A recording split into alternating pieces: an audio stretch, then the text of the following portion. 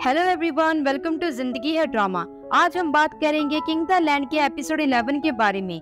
आने वाला एपिसोड बहुत ही ज़्यादा इंटरेस्टिंग होने वाला है, क्योंकि इस एपिसोड में हम देखेंगे कैसे दोनों बहन भाई कंपनी के लिए आपस में एक दूसरे के साथ लड़ेंगे। जैसा कि आप सब जानते ही हो गुवान हमारा हीरो, जो लोगों के बारे में सोचता है और अपने एम्प्लॉयज़ का बहुत ही ज़्यादा ख्याल रखता है, उसे पैसे तक कोई मतलब नहीं है। और दूसरी तरफ़ उसकी बहन, जिसे सिर्फ़ और सिर्फ़ कंपनी पैसा और रुतबे की परवाह है, और वो ये सब कुछ अपना हक समझती है, और वो गोवान के साथ ये सब कुछ शेयर नहीं करना चाहती, क्योंकि गोवान उसका सोतेला भाई है।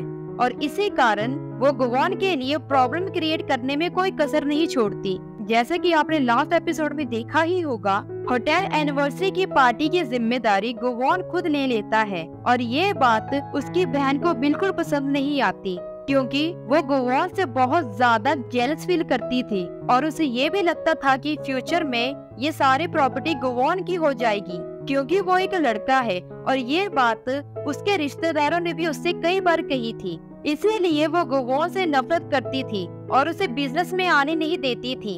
और वो इस पूरी प्रॉपर्टी पर खुद का हक समझती थी। पर जब इस पार्टी की ज़िम्मेदारी गुवान खुद ले लेता है तो वो इस बात से बहुत ज़्यादा चिढ़ जाती है और इसीलिए वो पार्टी को खराब करने की पूरी कोशिश करेगी, ताकि गुवान उसके डैड की नज़रों में निकम्मा साबित हो और उसके डैड बिज़नेस की पूरी ज़िम्मेदारी उसे सौंप दे। पर ये देखना बहुत ज़्यादा इंटरेस्टिंग होगा कि क्या गुवान इन प्रॉब्लम का सामना कर पाएगा या नहीं। और आने वाले एपिसोड में हम ये भी देखेंगे कि गोवान सरंग को अपनी माँ के बारे में सारी बातें बता देगा। और सरंग उसे ये एडवाइस भी देगी कि उसे उस गेटमैन से अपनी माँ के बारे में पूछना चाहिए, क्योंकि वो इस होटल में सबसे पुराना एम्प्लॉय है और उन्हें तुम्हारी माँ के बारे में ज़रूर पता होगा। और ये था हमारा एपिसोड 11 का प्रीव्यू और एपिसोड 11 और 12 रिलीज़ होंगे सैटरडे और संडे को।